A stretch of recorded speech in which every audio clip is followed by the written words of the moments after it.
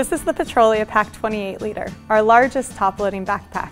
It's designed for easy access and holds enough gear for a full day on the trail.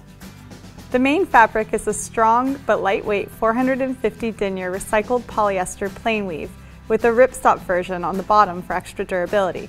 And both fabrics have a durable water repellent finish to shed light moisture and snow. The large main compartment holds bulkier items like a harness, shoes, and a rain shell, and has an internal organization panel for small essentials. A quick side access pocket allows you to keep a 15 inch or smaller laptop inside the pack. It's raised above the bottom of the pack, so you can set your pack down without fear of harming your computer. The same pocket doubles as a hydration sleeve with a tube port on the top. A zippered stash pocket on the lid keeps a map or phone within reach, and two stretch woven side pockets carry water bottles.